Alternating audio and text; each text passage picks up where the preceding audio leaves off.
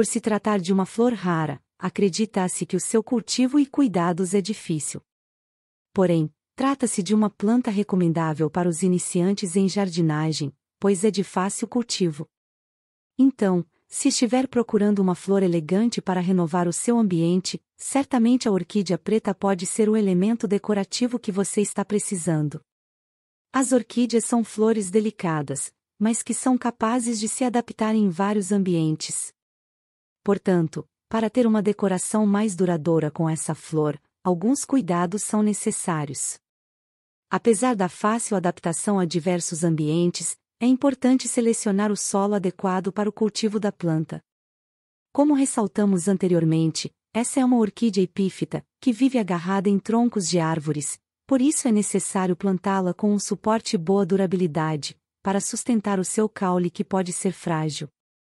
Outras alternativas são vasos pequenos de terracota e plástico, pendurados em placas ou árvores. Se a opção escolhida for plantar orquídea preta em vaso, é recomendo utilizar recipientes com furos embaixo e ou na lateral ou que geralmente secam mais rápido. Os de barro e plástico são ótimas opções. Compre substrato com casca de pinus, brita e carvão. Isso vai ajudar a criar o solo adequado para a flor. Por fim, elas são flores que precisam ser protegidas das correntes de ar. Varandas, salas e jardins cobertos são boas alternativas para plantá-las. O indicado é apostar em terra orgânica e que seja drenável. Além disso, como o pseudobulbos da orquídea é pequeno, elas não são capazes de armazenar todos os nutrientes essenciais que precisam. Ou seja, são dependentes de adubação semanal, com NPK 20 IFEM 2020.